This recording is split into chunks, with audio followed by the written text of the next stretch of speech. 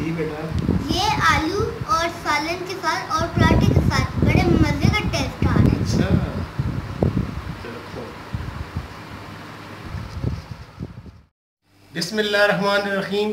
वालेकुम मैं हूँ अरशद महमून उम्मीद है आप सब लोग ठीक होंगे। आज हम बना रहे हैं आलू अंडा ग्रेवी जो बनाने में भी बहुत आसान है और टेस्ट में भी लाजवाब है। उम्मीद है आपको ये मेरी रेसिपी पसंद आएगी। अगर पसंद आए, इसको लाइक भी करना शेयर भी करना और सब्सक्राइब भी करना। और दोस्तों, आपके साथ एक रिक्वेस्ट है, अगर मेरी वीडियोस पसंद आए तो उसको मुकम्मल देखना। पहले रेसिपी स्टार्ट करते हैं। मैंने छः अदद अंडे लिए हैं, इनको मैंने बॉयल होने के लिए रख दिया है और इसके अंदर मैं एक नमक, चम, एक चम्मच नमक का शामिल करने लगा हूँ। ताकि इनका उबालते उबालने के बाद इनका छिलका आसानी से उतर जाए। इनको हमने सख्त बॉयल करना है ताकि ये आ, उसके अंदर वो टूटे नहीं मसाले के अंदर। तीन दरमियाने साइज़ के प्याज इनको मैं छोटा छोटा काटता हूँ। बिस्मिल्लाह।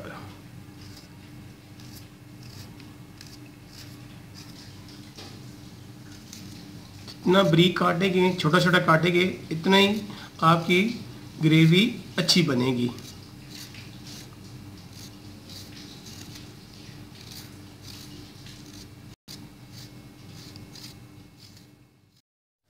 आज मैंने ली है मिट्टी की हांडी। आज हम इसमें बनाएँगे आलू अंडा करी।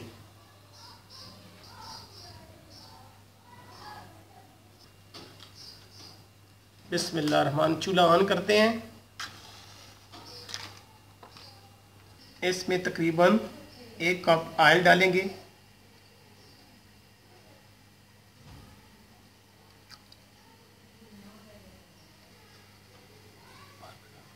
ऑयल हल्का सा गर्म हो चुका है। अब हम इसके अंदर ये जो बरीक कटे हुए प्याज हैं, वो डालते हैं। बिस्मिल्लाह प्याज बहुत बरीक कटा हुआ है। इसको दरमियानी आँच पे हल्का हल्का सा कलर आने देंगे ताकि इसका मसाला दानेदार बने। जब मिट्टी की ये हांडी गर्म ज़्यादा हो जाए तो आँच को हल्का कर दें क्योंकि इसके अंदर इसकी मिट्टी की अपनी गर्माइश ज़्यादा होती है ताकि ये कोई चीज़ जो आप इसके अंदर पका रहे हैं या इसको फ्राई कर रहे हैं, तब वो जले नहीं। ऐसा ऐसा इसको हिलाते जाएँगे। साथ साथ प्याज़ों को भी मैं अच्छी तरह हिला रहा हूँ। कि ये भी फ्राई होते रहें। साथ टमाटर भी काट कर देते हैं। बिस्मिल्लाह। छिलका इनका मैंने उतार दिया था। ये देखें। ताकि ग्रेवी इनकी अच्छी सी छिलका उतारने से ग्रेवी कम टाइम में बनेगी, क्योंकि वो उसका जो सख्त पन होता है छिलके का, वो नहीं होगा। ग्रेवी भी अच्छी बनेगी।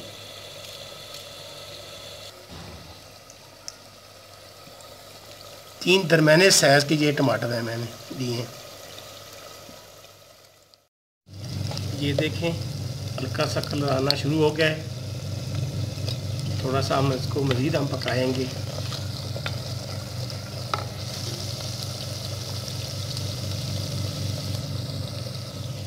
साथ में हम आलू भी काट रहे हैं। मैं दरमियाने साइज़ के, ये दो आलू और एक छोटा आलू, ये तकरीबन तीन आलू लिए हैं।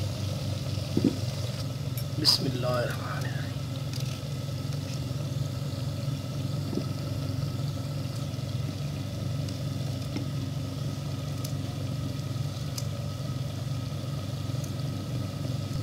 आप अपनी ज़रूरत के मुताबिक आलू कम और ज़्यादा कर सकते हैं। अभी हम इसमें अदरक लहसुन का पेस्ट डालने लगे हैं। प्याज बिल्कुल सही ब्राउन हो गए हैं। बिस्मिल्लाह रहमान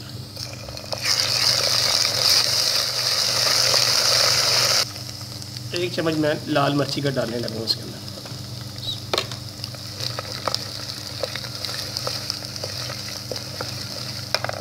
थोड़ा सा पानी इसके अंदर मैं डालने लगा हूँ।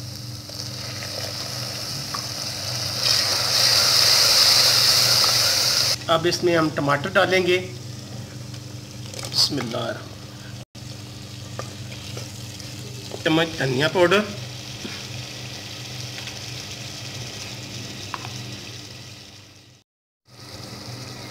हल्दी पाउडर। आधी चम्मच दड़ा मिर्च। एक चम्मच नमक की। आप अपने टेस्ट के लिहाज से ज़्यादा भी काट सकते हैं, कम भी काट अब मसालों को अच्छी तरह भूनेंगे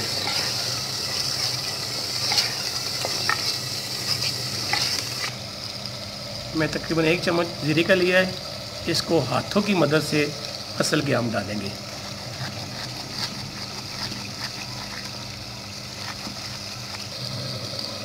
फिर इसकी खुशबू बनेगी। मसाले को अच्छी तरह भूनना है। कोशिश कोशिश करनी है टमाटर सही गालिए थोड़ा सा मैं इसके अंदर पानी ऐड करने लगा हूँ। ताकि इसका ये जो कच्चा पान है, ये ख़त्म हो जाए। टमाटर अच्छी तरह के गल जाएगा ग्रेवी बन जाएगी टमाटर, प्याज, जो कुछ के अंदर इसमें हमने डाला है, ये अच्छी तरह के गलेंगे तो फिर ग्रेवी भी हमारी अच्छी तरीके बनेगी। फिर इसका अच्छा सा एक टेस्ट आएगा। जो इसके अंदर हमने थोड़ा सा पानी डाला है। अभी इसको थोड़ा सा गलने के लिए हम इसको कवर करते हैं ताकि ये मसाला आसानी से इसके अंदर जो जो चीज़ें हैं वो गल जाएँ। माशाल्लाह, मसाला मैंने बहुत अच्छी तरह भून लिया है। ये देखें। अब हम इसमें ये आलू शामिल करते हैं। बिस्मिल्लाहिर्रहमानिर्रहीम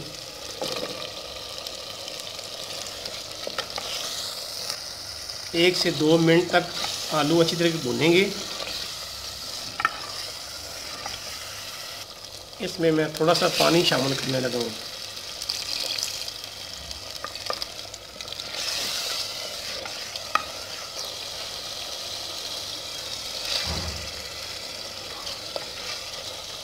आलू थोड़े से नरम हो जाएँ तो फिर इसको मज़ीद हम भूनते हैं।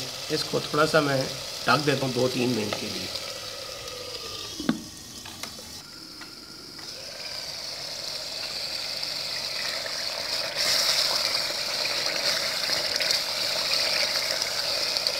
देखें। आलू तकरीबन गल चुके हैं।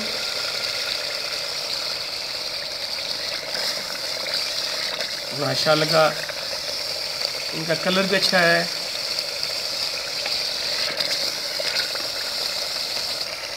अब इसके अंदर मैं ये कड़ी पत्ता डालने लगा हूँ। ये मेरे पास, मेरे अपने घर में फ्रेश है बिस्मिल्लाह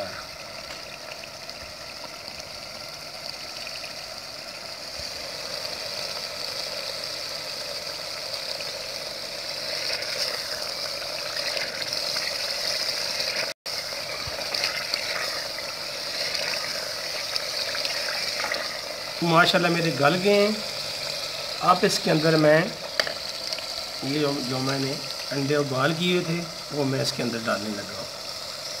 बिस्मिल्लाहिर्रहमानिर्रहीम।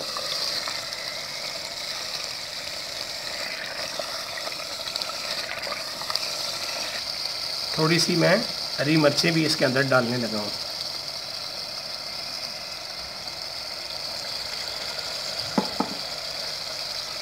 अब इसको अच्छी तरह भूनना है थोड़ी देर के लिए, ताकि इसका जो, ये जो मज़ीद थोड़ा बहुत पानी है या इसके अंदर जो कुछ भी है वो ख़त्म हो जाएगा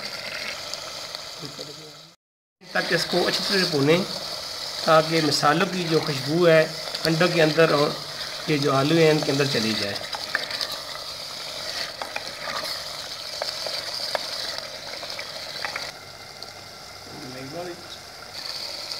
अब इसके अंदर मैं एक फ्रेश मलाई तो हम आपने अपने घर की है, वो मैं डालने लगा हूँ।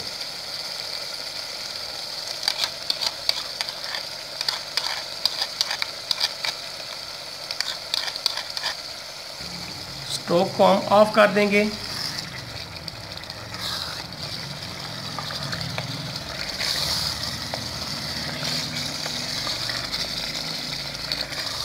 तो हांडी गर्म है।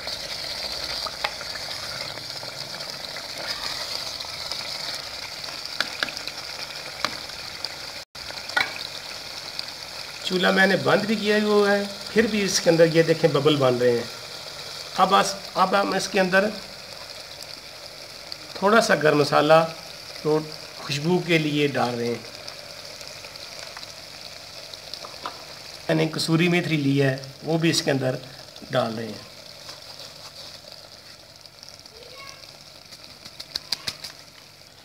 अब हम इसको कवर कर देंगे ताकि इसका आयल भी अच्छी तरह आ जाए। और जो मज़ीद इसके अंदर ये थोड़ा बहुत जो पानी है या जोश भी वो ख़त्म हो जाएगा। पाँच मिनट के बाद हम इसका ढकना हटाएँगे। देखिए, माशाल्लाह कितना अच्छा इसका कलर आया है। ये देखिए, अल्हम्दुलिल्लाह, हमारी आलू वंडा करी तैयार है। अब हम इसको डिश आउट करके आपको दिखाते हैं। रहीम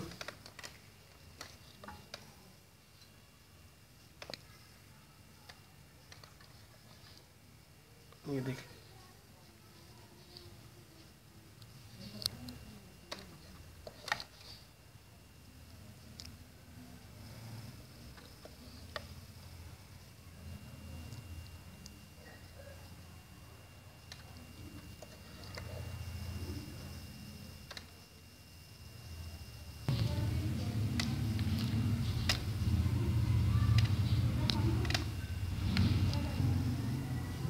इसकी ग्रेवी जो है आप अपने नान, चपाती किसी के साथ भी आप खाएँगे तो आपको मज़ा आएगा।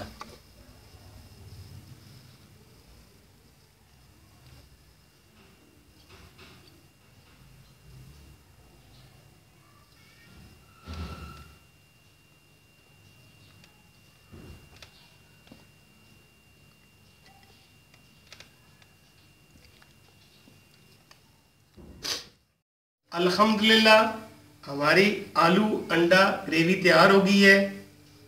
जो कि देखने में भी बहुत अच्छी लग रही है। और खा के ये मेरे बच्चे बताएँगे कि इसका टेस्ट कैसा है। अगर मेरी रेसिपी आपको अच्छी लगे तो इसको लाइक भी करना शेयर भी करना और सब्सक्राइब भी करना। उम्मीद है दोस्तों, आपको ये मेरी वीडियो पसंद आएगी। चेक करके बताएँगे कि सालन आलू अंडे का कैसे बना है